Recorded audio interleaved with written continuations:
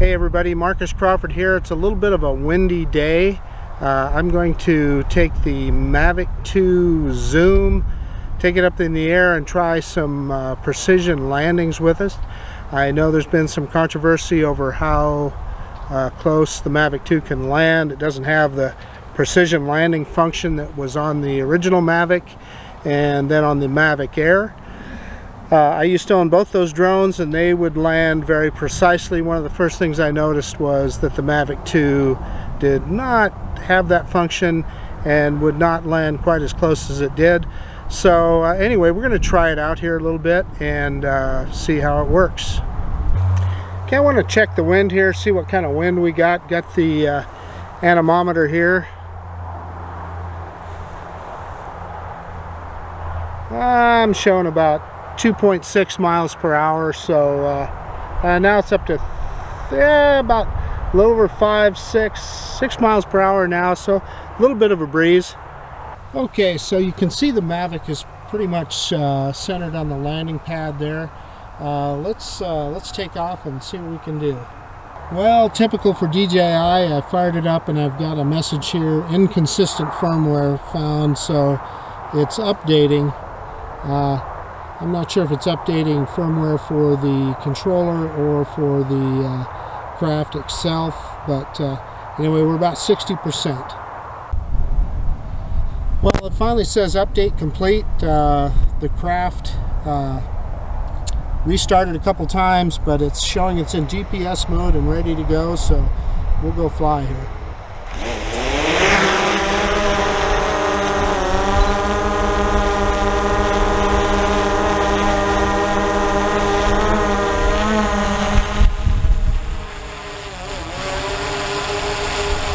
Okay, I took it up, uh, oh gosh, about 13 foot. Get, it get a good look at the ground here before we take off.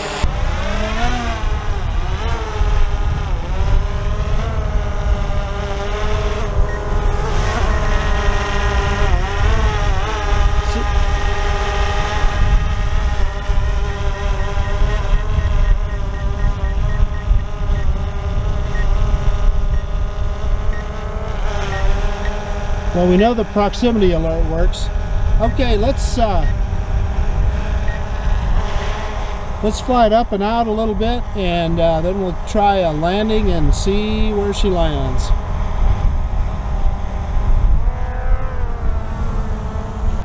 Okay, uh, I'm out. Let's see, I'm out about uh, 533 feet up at about 200 feet. Let's bring it home and see how close it lands.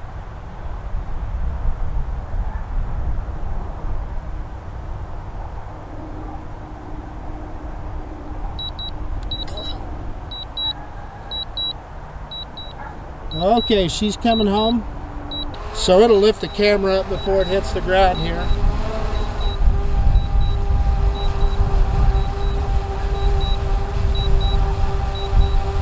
It's adjusting itself a little bit.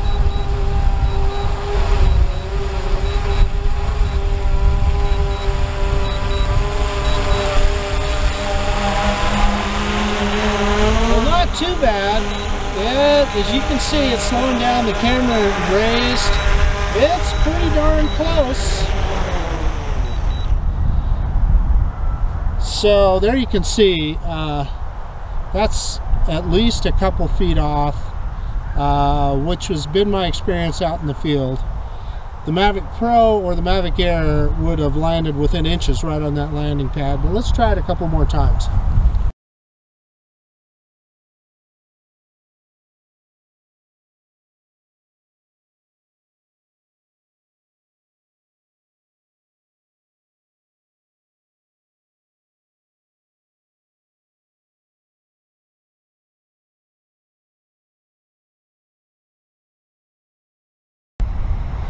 Okay, she's on the pad. Let's take off again.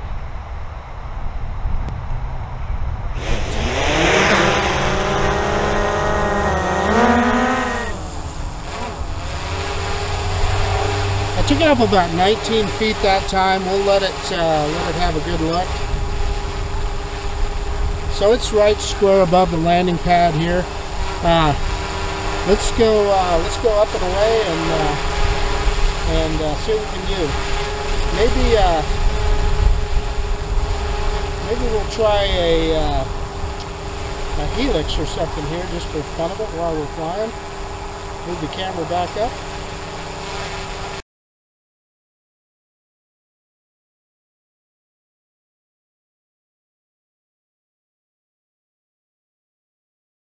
Okay, can see me. I'm going to go into the uh, the quick shot modes here.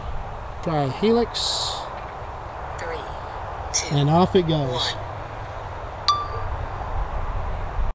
So the helix is always a fun quick shot to try.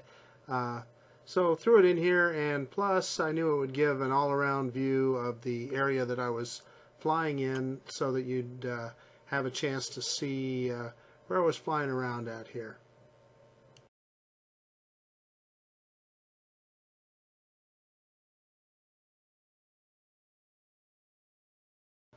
I'm always amazed at the level of automation that they've programmed into these drones. Uh, it's fascinating stuff, and even a hack like me can uh, make a decent video this way. Okay, let's try and land this thing again. So now it's returning to its original position. So now you can see this field that I'm flying around in. Uh, you Europeans would call this a football pitch. Uh, we call it a youth soccer field over here. And this is usually just an open field, but uh, they you can see they're getting it set up for some youth soccer matches.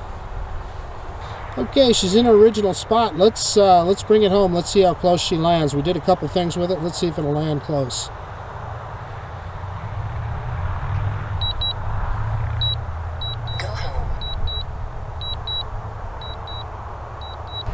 So it looks pretty good. You know, you're looking at the camera. Looks pretty darn close. And there again, it'll lift the camera up on its way down. As soon as it gets within a few feet, it'll lift the camera up. It's adjusting. It's going to get a lot closer this time. It's a lot closer.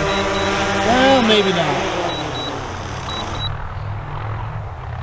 So it's, uh, as you can see, it's maybe a foot closer.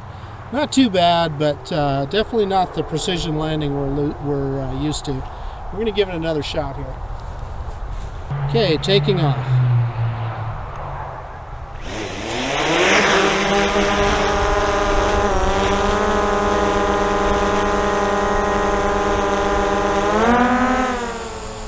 Yeah, so I'm, I'm about 24 foot up this time. Let's give it a good look. Okay, these guys are uh, they're doing some work over here. Let's set up a hyperlapse.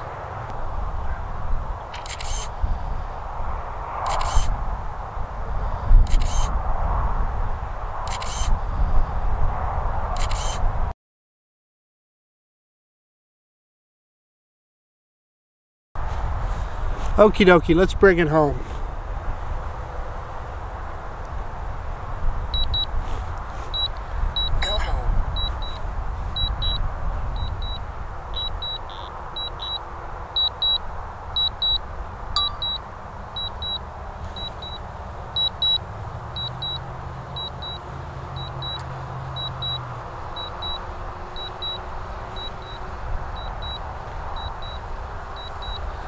Okay, I pointed the camera straight down so we can see uh, how close it gets. Drone reports it's landing. Yeah, not even close this time. Wrong direction and everything. Yeah, it's well off of the pad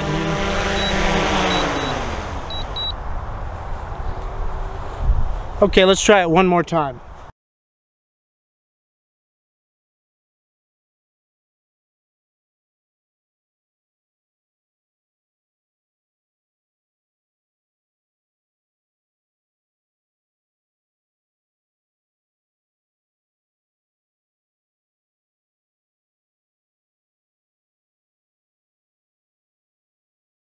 Yeah, sadly not even close this time either. Uh, if you look off in the distance there when the camera goes up, there's that guy with the metal detector. That's some of the weird beeping you hear in this video. Okay, this time I'm backing the camera up uh, so that the sensors, we can't say that uh, the forward-facing sensors are, uh, are interfering with uh, where it's coming down at. Let's take off here. Take off. Please check it on the map. Yeah, as you can see, it's still seeing the camera out here, but let's go up a little bit.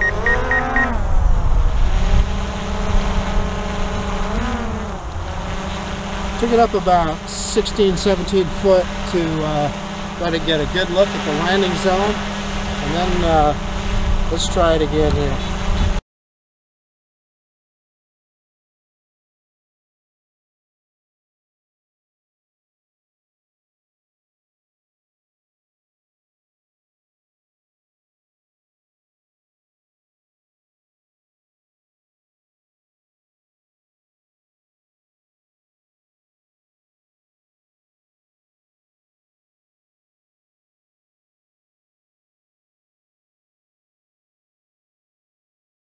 Yeah, for the last one, I thought I'd do a nice little pull away shot here, so you could uh, kind of see the territory that I was uh, that I had uh, done this at.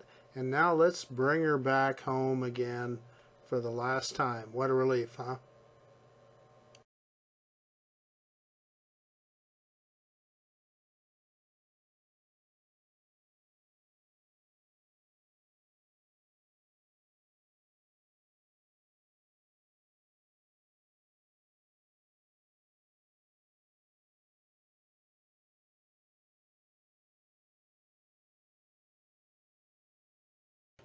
Holy cow, this one's starting to look good. You think it'll land on the pad this time?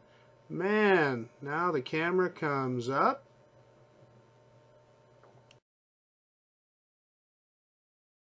Right on the money, Mavic 2. Good job. It's going to give me a battery warning any second here. Okay, let's bring it home.